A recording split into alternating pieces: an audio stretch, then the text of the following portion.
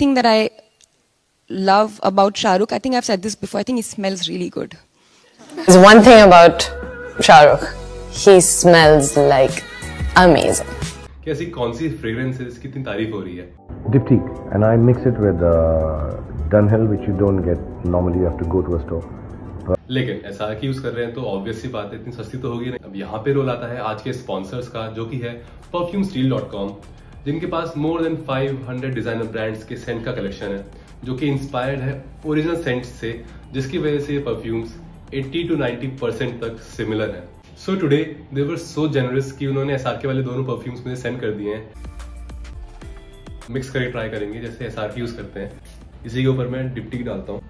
एक अलग ही नई स्मेल आती है, जो कि दोनों परफ्यूम से बेटर होती है।